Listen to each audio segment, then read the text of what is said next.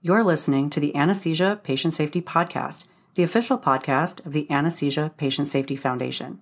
We're bringing you the very best from the APSF newsletter and website, as well as the latest information in perioperative patient safety. Thanks for joining us.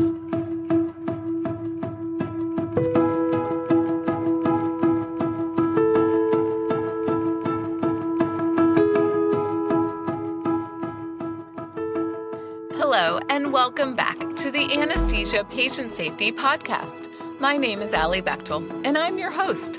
Thank you for joining us for another show. I want to highlight a recent publication on our website that is directly related to our show today. The APSF is endorsing the Institute for Safe Medication Practices, or ISMP initiative called the ISMP Medication Safety Self Assessment for Perioperative Settings. This initiative launched on May 18th of this year. It involves a new self assessment that provides a way for healthcare professionals to document compliance with regulatory or accrediting requirements for proactive risk assessment and performance improvement. The result is the creation of organization specific, safety focused initiatives with the ability to compare experiences with that of other similar organizations. The online data submission deadline is fast approaching on August 31st, 2021. I will include a link to the article, and at the bottom of the article, you can click over to the ismp.org website for additional resources and information. I went ahead and clicked on the link for more information too. This tool may be used by hospitals, ambulatory surgery centers, and office based surgery practices. The benefits include the following increased knowledge of best practices related to safe medication systems in the perioperative and surgical or procedural setting. Help with identifying and prioritizing gaps in the safe medication systems at your institution so that these gaps can be filled in to keep patients safe. Establishment of a baseline of the evaluation of the perioperative medication system that is coupled with measuring progress over time that is facility specific and finally, helps to look at the current state of medication safety systems in different perioperative and procedural settings on a national level with the creation of a baseline measure for these efforts.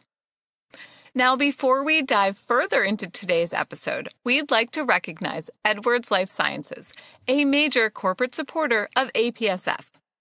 Edwards Life Sciences has generously provided unrestricted support as well as research and educational grants to further our vision that no one shall be harmed by anesthesia care.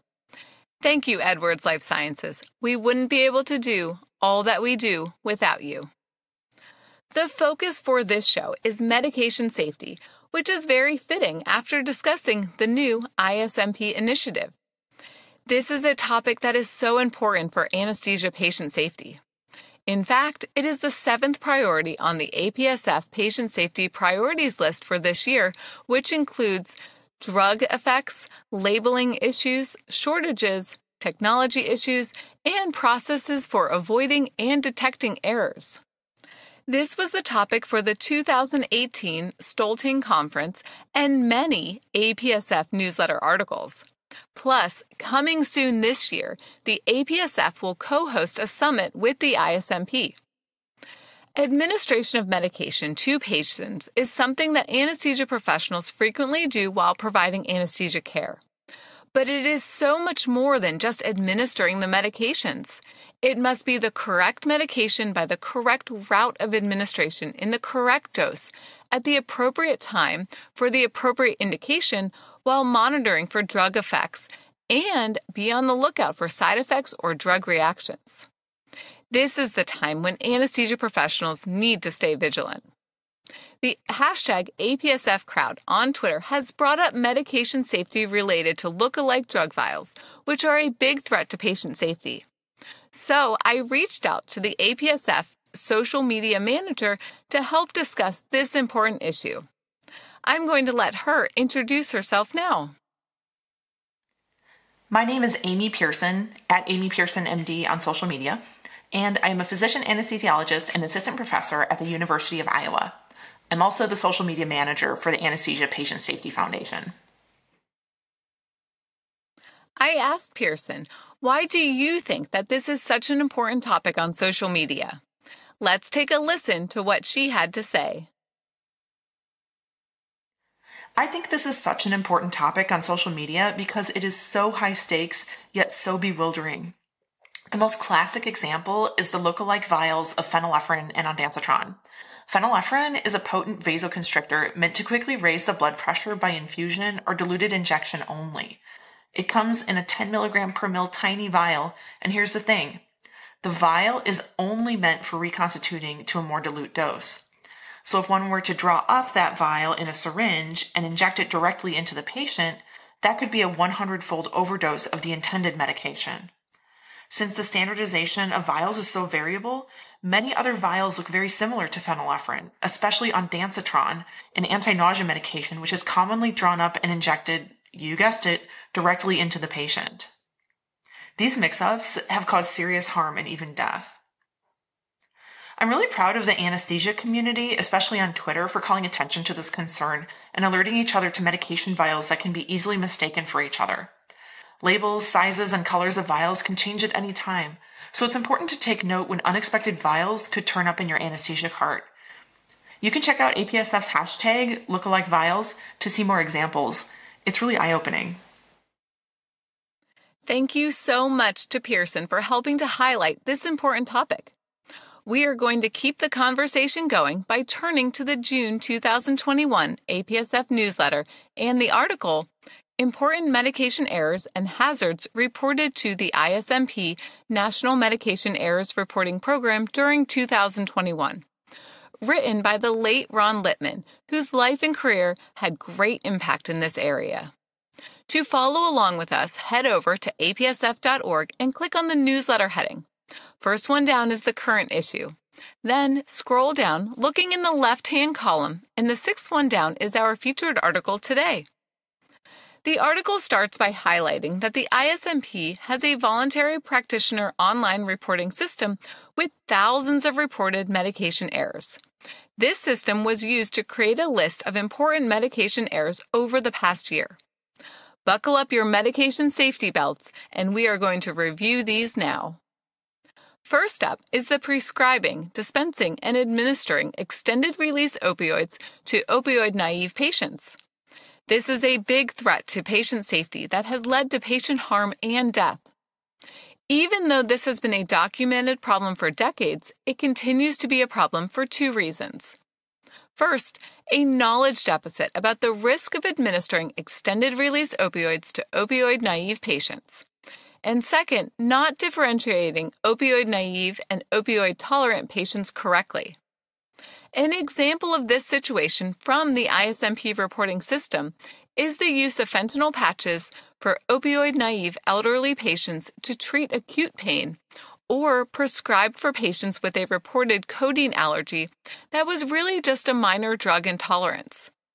This is not a safe practice since prescriptions for fentanyl patches should only be given to opioid tolerant patients to treat pain that is so severe that it requires long acting and long term treatment.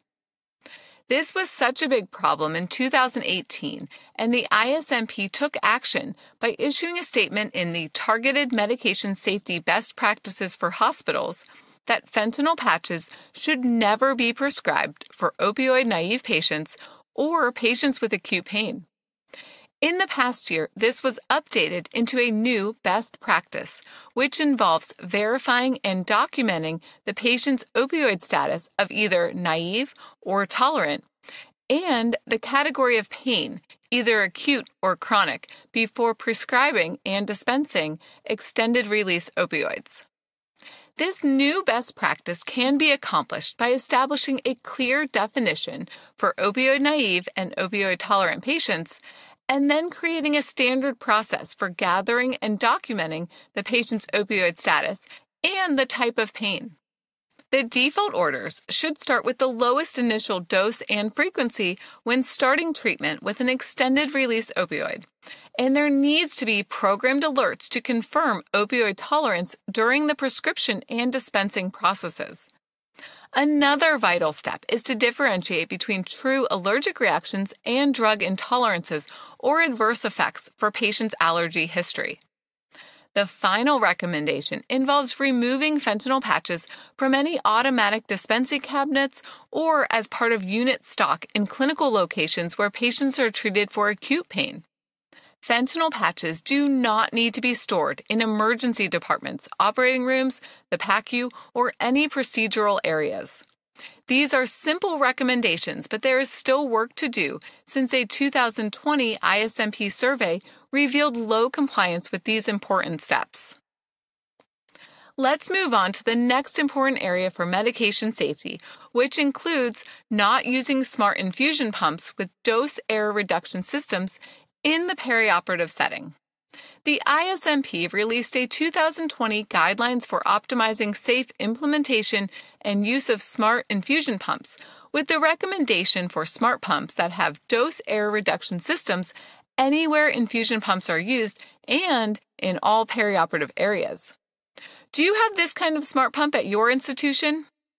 If we take a closer look at the perioperative patient care areas, there may be challenges with implementing this recommendation. First, this may not be a clearly defined expectation from leadership that anesthesia professionals need to use smart pumps with the dose error reduction systems. This is a type of advanced medical technology, and without appropriate training, anesthesia professionals may not understand the functions, including bolus dosing. In addition, the program dose and infusion limits may be unacceptable unless anesthesia professionals participate in the development of the anesthesia drug library. It is just as important that the infusion pump's anesthesia mode only be used by anesthesia professionals in the perioperative setting and may not be appropriate for the floor or ICU because of the risk for overriding dosing and concentration limits when the hard stops are converted to soft stops. We can make the use of infusion pumps safer with the following steps. Clear direction from leadership for the expectation of the use of smart pumps with dose error reduction systems. Anesthesia professional engagement during the creation of the smart pump library. Use of upper and lower hard limits for medication doses, concentrations, infusion rates, and loading or bolus doses use of the bolus feature and setting hard limits for catastrophic doses, as well as not allowing the delivery of bolus doses by just increasing the rate of the infusion. Providing adequate hands on training prior to using the infusion pumps with documentation of competency assessments. And finally, analyzing pump data to gather information about any challenges associated with effective use of the smart pumps in the perioperative patient care areas. We are about halfway done with our featured article today. So you will have to join us again next week to learn more about errors with oxytocin administration, hazards associated with infusion pumps located outside of the room for patients with COVID 19, risks associated with combining or manipulating commercially available sterile products outside of the pharmacy, and incorrect injection by intraspinal injection associated with tranexamic acid. These are all big threats to patient safety. And the good news is that there are steps that we can take to address these situations. Now, before we wrap up for today, we are going to hear from Pearson again. I asked her, what does she envision for the future with regards to medication safety and look-alike vials? Pearson provides some great insight. So let's take a listen. In the future, I hope that there will be more standardization for manufacturers regarding medication vials. Many departments have installed drug labeling machines that scan and verbalize the medication before printing the label, which acts like a second check for the anesthesia professional, who's often the only person choosing, preparing, labeling, and injecting medications in the room. Also, while this is still a topic for debate, I personally believe that vials of medications in the same category, for example, opioids, should share the same color. Theoretically, if you mix up one opioid for another, at least you're still giving the same intended class of medication, rather than, for example, giving a blood pressure medication when an opioid was intended. I'm actually very excited about the recent ASA statement on labeling of pharmaceuticals for use in anesthesiology, which has recommendations for consistent medication labeling in line with ASTM International, the International Organization of Standards, the Institution for Safe Medication Practices, and the FDA. There are recommendations for colors, font, content, and label material that even consider color blindness. I do hope that these standards are adopted not only by anesthesia professionals who label the syringes, but also the manufacturers who create the vials. Thanks for having me on the show, Dr. Bechtel, and I look forward to interacting with you all on social media.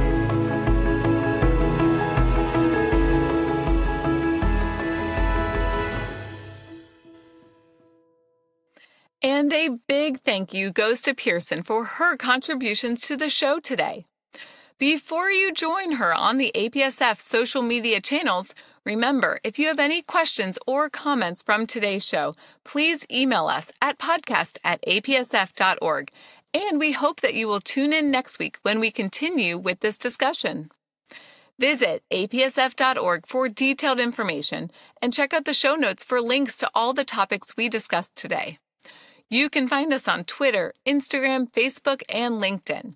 See the show notes for more details, and we can't wait for you to tag us in a patient safety related tweet or like our next post on Instagram, like us on Facebook, or connect with us on LinkedIn. Follow along with us for the latest news and updates in perioperative and anesthesia patient safety. Until next time, stay vigilant so that no one shall be harmed by anesthesia care.